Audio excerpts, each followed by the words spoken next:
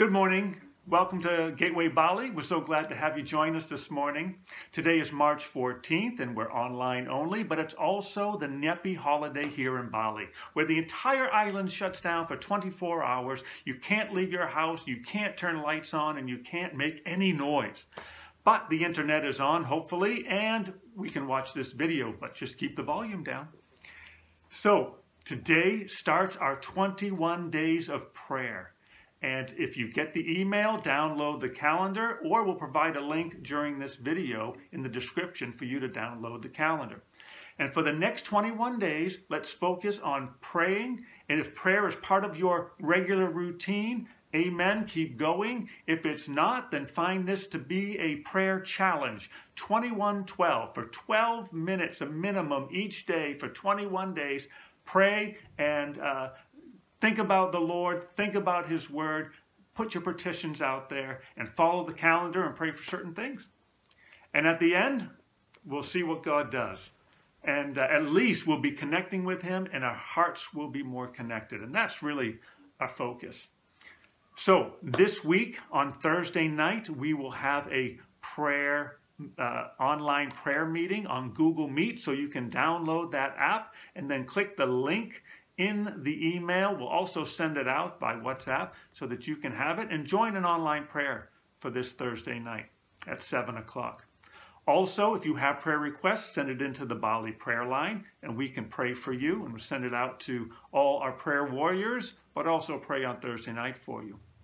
We also have, uh, uh we're trying to create a uh, photo gateway church directory for all of us to put our photos on there, put our some information so we can see one another, we can pray for one another, we can know each other, remember each other's names. This is a great way also to develop church community among our fellowship. So you can follow the links on the email or WhatsApp Jane Pattison and she will get you connected with that. Finally, thank you for all those who've been giving to Gateway uh, continually to sacrificially give, especially during this time. We've cut our expenses down, but we still need to meet the budget.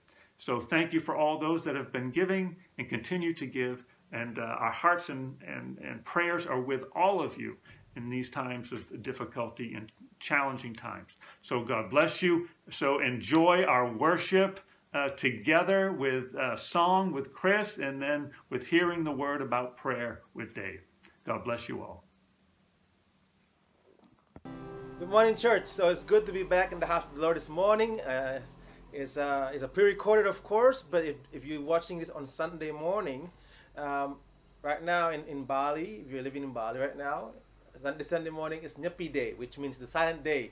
It's, it's, well, it's well known to the international world that, you know, that Bali always take one, one day of the year to do to have a silent day, no power, no electricity, well, no lights, at least no no power, no no activities and it's a good time actually for us to use this moment just to give our time to God, you know, and just to praise and to worship Him this morning. Um, so yeah, so this morning as we come to the Lord, you know, enjoy this worship, praise and worship, and the, and the Word of God by Pastor uh, by pa Dave Pattison this morning, and just enjoy yourself this morning in in the, in the silence of the day. Enjoy the goodness of God, and we're going to start with "Come, now it's time to worship."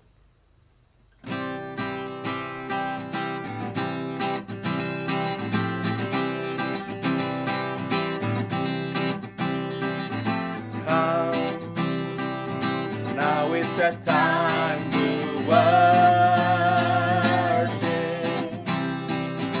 Now, now is the time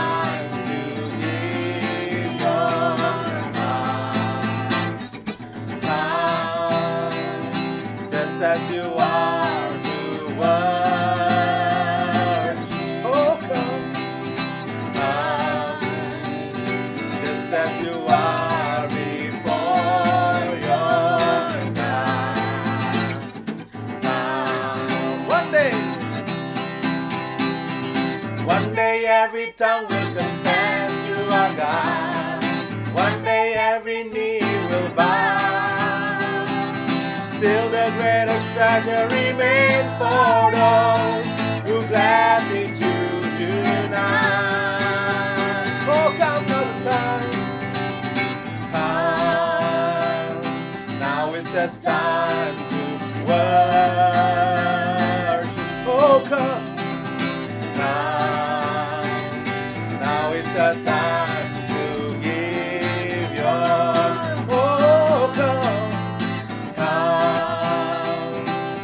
as you are to worship. Oh come, come, come, just as you are before your God. Come, one day. One day every tongue will confess you are God. One day every knee will bow. Oh, the greatest treasure remains for those who gladly choose you now. One day every tongue will confess you. One day, one day every knee will bow. Still the greatest treasure remains for those who gladly choose you now. Come, let's time to worship. Come, is the time to worship.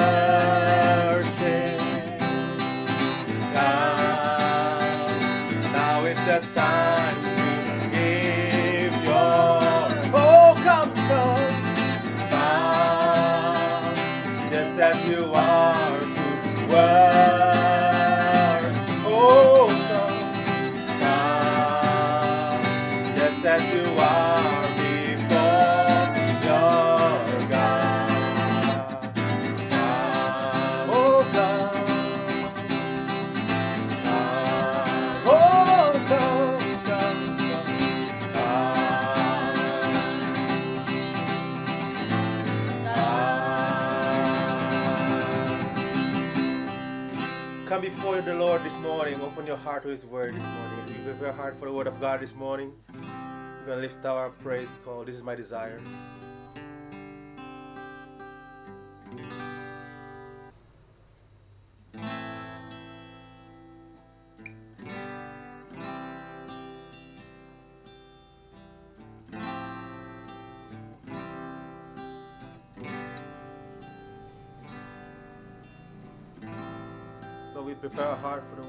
This morning, Lord. Speak to us.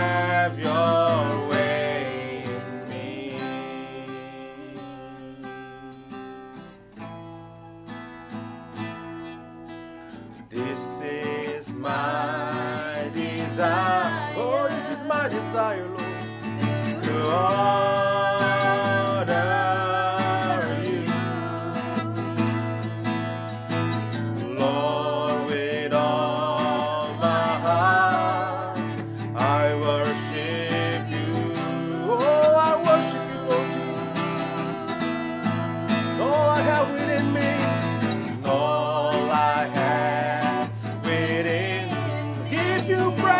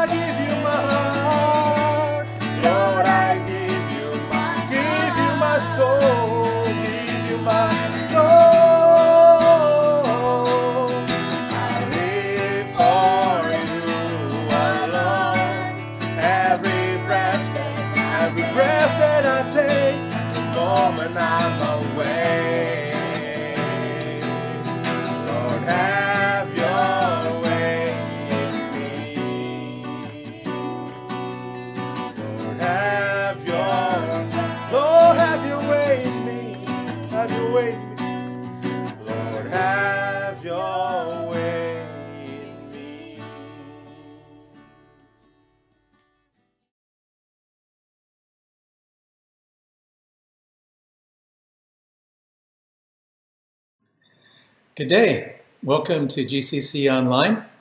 Today we're continuing in the series about the habits of Jesus, and this is the habit of prayer, and it's entitled Connection on Display. So, what did Jesus do? The key verse for this time is from Luke 5 17. It says, Yet Jesus himself frequently withdrew to the wilderness and prayed. There are several examples of that. Uh, when Jesus prayed, he prayed when he was busy. In uh, the first chapter of Mark, it talks about him teaching in the synagogue there, and he um, healed a, a person or cast out a demon, and then he went to Peter's house for lunch afterwards, and Peter's mother-in-law was sick in bed, and Jesus raised her up and healed her, and word about that spread. And then after sunset, because it was the Sabbath, people from all over had um, brought brought sick people and those possessed by demons to cast them out, and it said that he um, healed everybody, everybody that was there. So it was probably late at night, and it was a short night for him because it tells us that um, Jesus got up early in the morning when it was still dark and departed and went out to a deserted place, and there he spent time in prayer. This was a habit that Jesus often did, even when he was busy. And it was going to be a busy the next day, too. So, uh, Jesus also prayed before big decisions. About a year into his ministry, he had lots of followers, lots of popularity, but um, the, the religious leaders had turned against him because he was confronting them about their hypocrisy, and they were jealous of the crowds that were following him. And um, knowing that he had just a, a couple years left, he um, was going to choose uh, from that group of disciples. There were a lot of disciples. Disciples just means learner. They followed Jesus around. There were followers. There were disciples that were a little more committed. And he was going to choose 12 of them to be apostles. And so the night before, it says, um, now it was during this time that Jesus went out to the mountain to pray, and he spent all night in prayer to God. And when morning came, he called his disciples and chose 12 of them, whom he also named apostles. An apostle means uh, a person who's sent out. And so they were going to be carrying on the ministry of Jesus after his um, crucifixion, uh, resurrection, and ascension. So after big decisions, then after big news, at the, or bad news, sorry, um, John had been arrested. John was his cousin, John the Baptist, and he had been arrested by King Herod. And there was this big party and a dancing girl uh, who pleased the crowds. Um, uh, asked for the head of John the Baptist when Herod asked her what it is she wanted because she he wanted to reward her. And so he, not to be embarrassed in front of the crowds, he had John killed. And news of this came to Jesus. And at that time, it says, when Jesus heard what had happened, he withdrew by boat privately to a solitary place. He's up on Lake Galilee. And um, hearing of this, the crowds followed him on foot from the towns. And so he might have had some quiet time alone um, but maybe not very long before the crowds arrived. And he had compassion on them and he taught them all day long. And there were 5,000 men, maybe 5,000 women, maybe a couple thousand children, so a whole bunch of people. And it was far away from any towns or stores, restaurants, anything like that. So um, Jesus uh, told his disciples to, that they were going to feed him. They brought him some loaves and fishes. He spread it, you know the story and they fed everybody and had basketfuls left over afterwards. Well, it was getting dark and they needed to uh, get on their way. And so Jesus told the disciples to get in the boat and go back to, to across the lake from where they'd come and then he would dismiss the crowds. And so at this time, uh, we see after this a big event that um, after he had sent the crowds away, still in chapter 14, he went up the mountain by himself to pray and when evening came, he was there alone. And so what did he pray about? We don't know, but possibly still processing the, the death of his cousin, um, praying about um, processing this big event and the miracle and the crowds that um, were going to come and want to make him king in, in, the future. And so just talking through that uh, with his father before he goes back down to the lake and walks on water. Then uh, later on, uh, it talks about Jesus praying again, and he's during a time of reflecting. It says, Once when Jesus was praying by himself and his disciples were nearby, he asked them, Who do the crowd say that I am? And so something in his conversation with the Father sparked him to want to ask his disciples. Now, of course, Jesus knew what the crowds thought, but he wanted to hear it from them. And this is the time when Peter makes his famous uh, declaration that, that, Jesus was the Christ, the Messiah, uh, the Son of God. And so that's kind of a turning point for the disciples in their spiritual journey there. And then um, went on a retreat uh, shortly after this, um, the same chapter, about eight days after these things. Um, Jesus took with him Peter, John, and James and went up the mountain to pray. So it's kind of like a spiritual retreat. Um, had a mountaintop experience up there. Uh, that's also when the transfiguration happened, and uh, the three uh, apostles could could see Jesus being glorified and also being visited by Elijah and Moses, and um, that event there where they could really see that Jesus was divinity. Moving on, um, Jesus prayed as an example. He often prayed um, so that his disciples could watch and listen in. And this time it says, Now Jesus was praying in a certain place, and when he stopped, one of his disciples said to him, Lord, teach us to pray, just as John taught his disciples. It's interesting to me that it's not till chapter 11 that the, the disciples are interested enough to in how Jesus prayed, very much different from what the Pharisees were teaching about how to pray. And um, they wanted to learn as well. And we'll talk about Jesus' response shortly. Another time when Jesus prayed was in a crisis. So this is after the Last Supper, and he'd gone out to the Garden of Gethsemane, and the crucifixion and um, the trial, the torture, and all that was soon to come. It was very soon. And I don't think Jesus was necessarily afraid of, of suffering physically, although that's not pleasant for any human. And he felt the pain for sure. But um, the real thing was, was taking on the sins of the world. All of the sins, all time, everybody, um, from creation until the end of time, all that sin is on Jesus. And um, and in that process, the, God the Father uh, turned his back on him, and Jesus on the cross said, God, why have you forsaken me? Well, Jesus knew, uh, but he knew that this was going to happen, and he said, um, Father, if you are willing, take this cup away from me. Yet not my will, but yours be done. And so in this crisis, um, the hardest part of Jesus' earthly life facing, getting ready for this, this event, um, Jesus turned to his Father.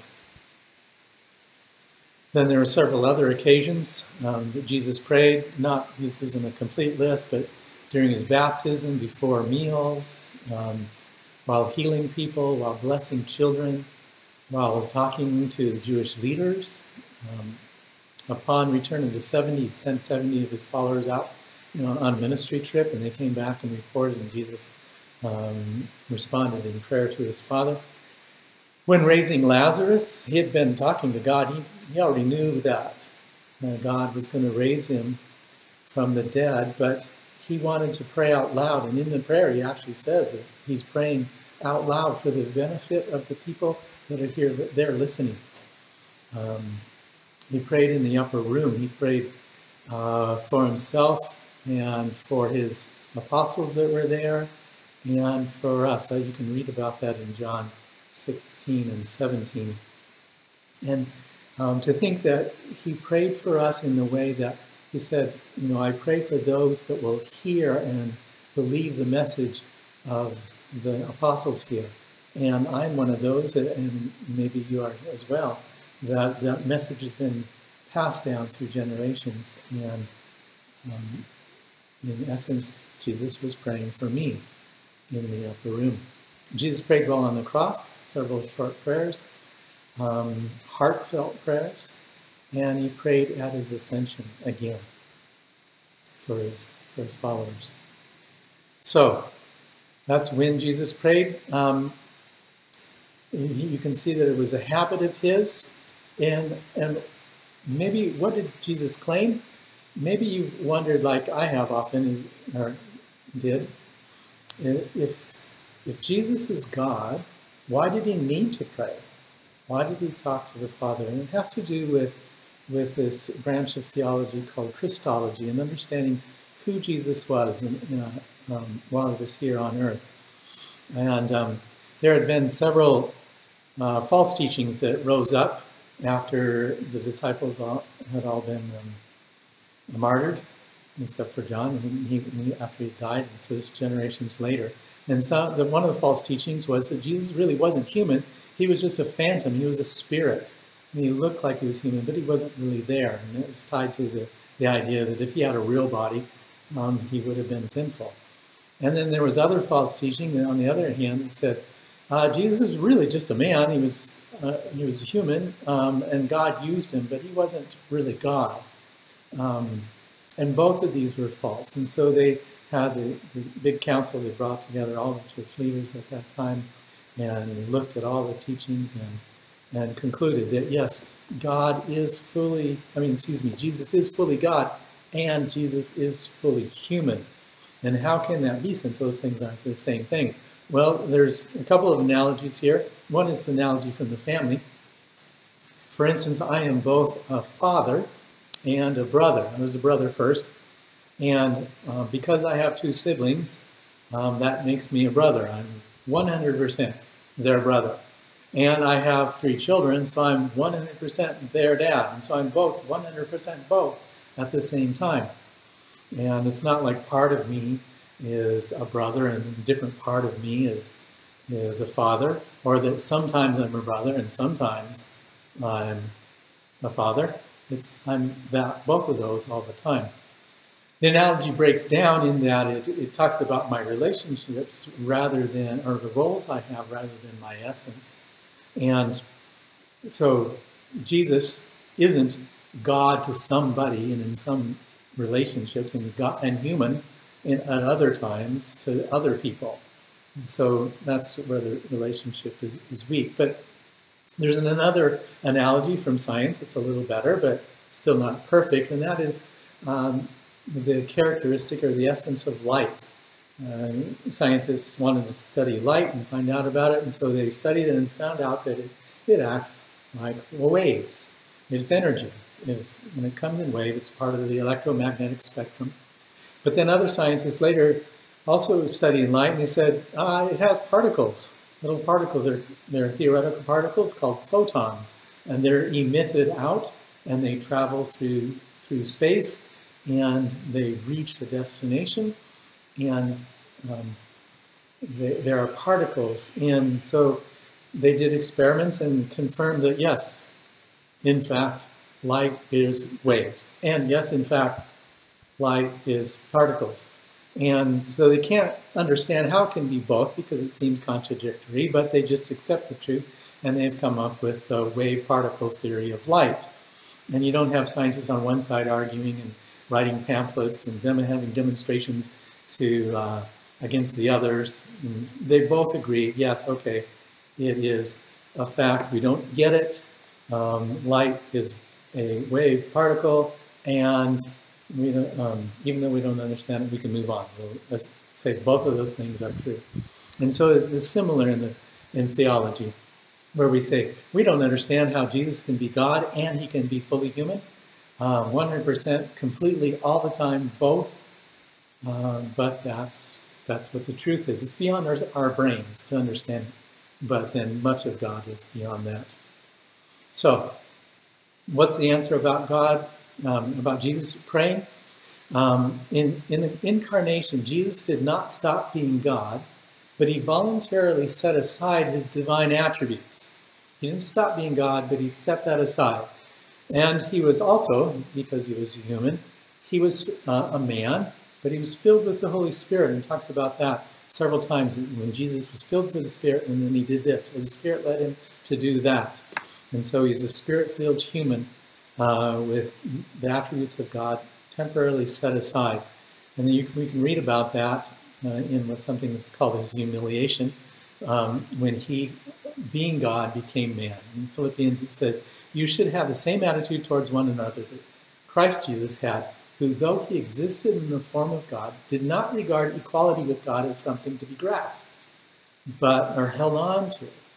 But he emptied himself by taking on the form of a slave, by looking like other men, and by sharing in human nature.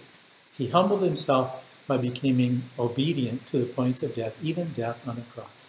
So he submitted to, to God the Father, even though he was God the Son.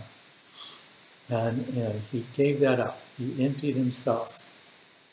He didn't stop being God, uh, but he relinquished uh, the glory, uh, the power, and a lot of other things that's part of that.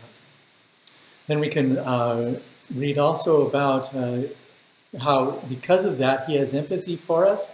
Hebrews 4 talks about um, that we, talking about Jesus, we do not have a high priest in heaven now incapable of sympathizing with our weaknesses, but one who has been tempted in every way just as we are, yet without sin. And so Jesus, if he was not fully human, he wouldn't be tempted. Um, he, and if you're not, if you can't sin, if there's no possibility that you could sin, then there isn't really a temptation, is there? And so it says that Jesus was in fact tempted, tempted. and so um, very much like Adam. Adam, before the fall, uh, was perfect, as Jesus was as a human, um, but Adam chose to sin, and therefore um, that changed his nature. He experienced spiritual death. Jesus, um, perfect again, chose not to sin, and because of that, God um, raised him glorified him. And so because of his, his purity, his holiness, he was able to be a sacrifice for us because um, he didn't have any sin in himself that he had to die for, so he could in fact die for our sin. So, um, he is both fully God and fully man. So Jesus, why did he pray? He prayed in order to stay connected to the Father, to know his will. Jesus didn't know everything uh, like the Father did or like he did before he, his incarnation or afterwards. When he, he set that aside, it says, uh, when they said, when is the end times? And Jesus says, that the Father knows that, and not even the Son knows that. And um, so Jesus needed to be connected to the Father, and so there was this real importance to pray in order to stay connected. And that's the same way that we're supposed to remain in Jesus and stay connected to, to Jesus and connected to the Father. We'll talk about that more shortly. So, um, Jesus, uh, since he did pray and he spent time with the God, he, he was able to make these claims in, in, in John. Several of them, John will go through them here. It says, So Jesus answered them, I tell you the solemn truth, the Son can do nothing on his own initiative on his own initiative, but only what he sees the Father doing. For whatever the Father does, the Son does likewise. Again, I can do nothing on my own initiative, just as I hear, I judge, and my judgment is just because I do not seek my own will, but the will of the one who sent me. And then Jesus said, When you lift up the Son of Man, then you will know that I am He. And I do nothing on my own initiative, but I speak just what the Father taught me. He said, The one who belongs to God listens and responds to God's words. That's himself. You don't, he's talking to the Pharisees, you don't listen and respond because you don't belong to God. And um, for I have not spoken from my own authority, but the Father himself who sent me has commanded me what I should say and what I should speak. He knows that because he spent time talking to God and listening to God. Says, And I know that his commandment is eternal life. Thus the things I say, I say just as the Father has told me.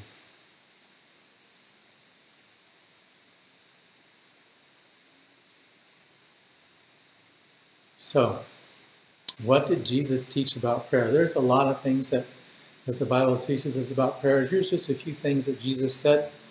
He said, Don't make a big show of it. Uh, the, the Pharisees at that time, they loved to stand up in crowds and, and have big, long, loud prayers so everybody could see how religious they were. But he, Jesus said, Whenever you pray, go into your room, close the door, and pray to your Father in secret. And your Father who sees you in secret, secret will reward you.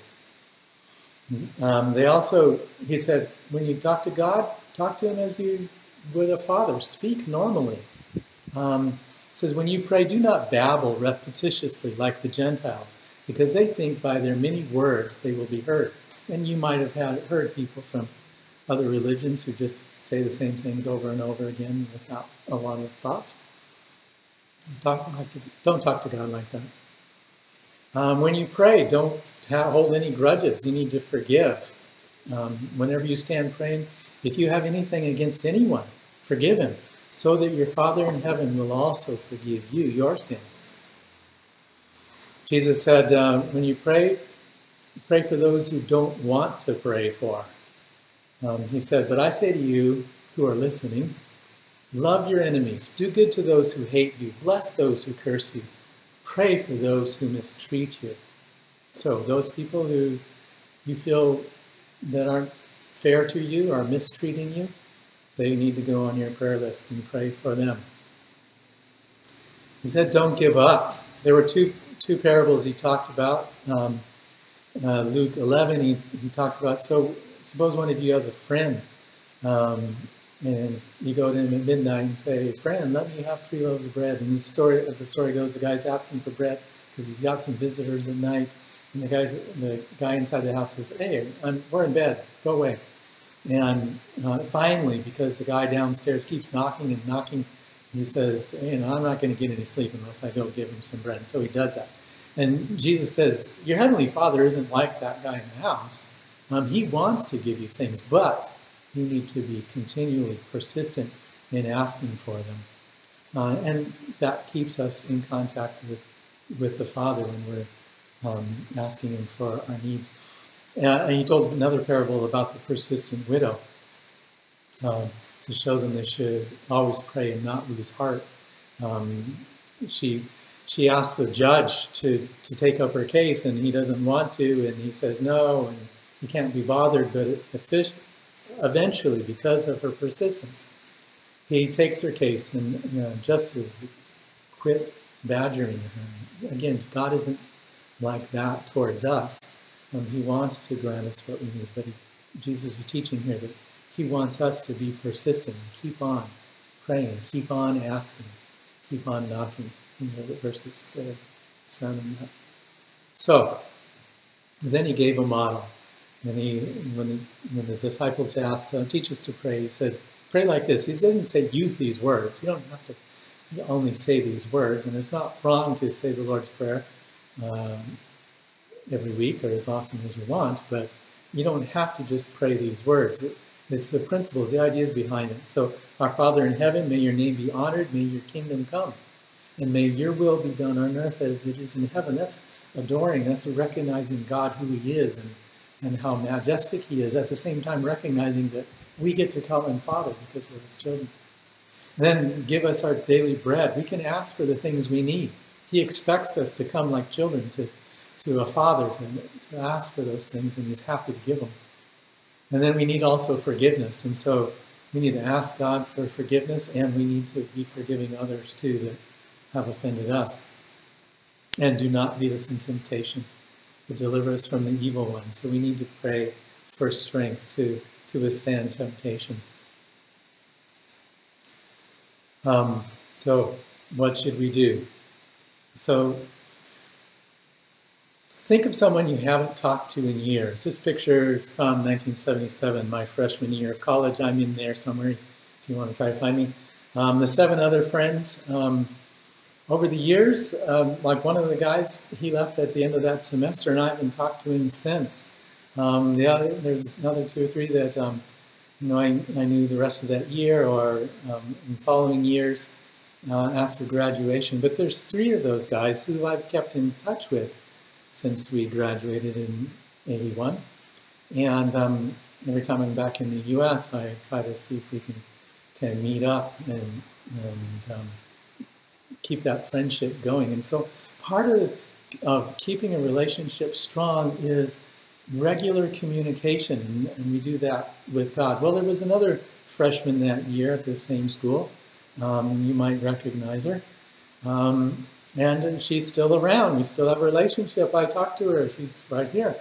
Um, and it's, it's that communication that I have with my wife Jane that is, is mirrored in, in what it should be with my Heavenly Father, that I'm regularly talking to Him and building that relationship and uh, getting His ideas for me and things like that.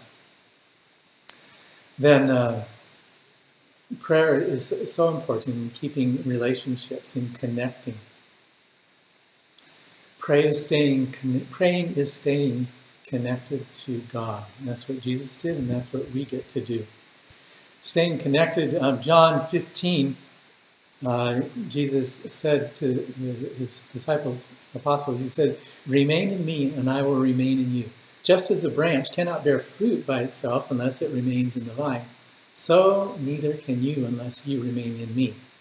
I am the vine, you are the branches. The one who remains in me, and I in him, bears much fruit, because apart from me, you can accomplish nothing. So, in order to be fruitful in our lives uh, and may have fruit for God's kingdom, we need to remain in Him. And we do that by staying connected in prayer. Um, our hearts are drawn towards that which we give our time and attention to. Jesus talked about this as far as money. He says if you all your, your treasure is here on earth, your heart is going to be wrapped up in that as well. And so if our uh, if we give our time and attention to God our Father and spending time talking to Him and, and our attention, then that's going to, our heart's going to follow after that um, and be uh, more strongly connected to God our Father. Here's some suggestions for, for praying. Um, you can use a prayer calendar. There is one that um, is uh, in an email sent out from GCC. You can open that and download it. And its a prayer calendar starts uh, today on the 14th, and it's 21 days. Goes until the, the day before Easter. And it has uh, three things. It says there, each day you can pray for whatever's on your heart, pray for one person you know, and pray for the items listed on each day below. So that, that's an aid if you want to use a, a prayer calendar. Then there's also um, uh, the types of prayer you can look at, different kinds of prayer.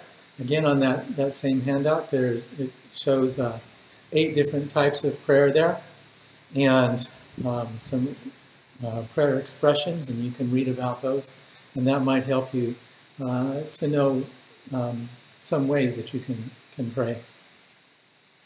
Then there's uh, the ones that I, I use. It's the some of those of those eight. There's four of them, and, and those four together form the word acts, and it helps me to remember. Um, adoration, that's worshiping God and, and, concentrating on His attributes, His holiness, all the characteristics of God, and uh, worshiping Him in adoration. Uh, the next one is confession. I don't want there to be anything between God and me when I'm talking to Him.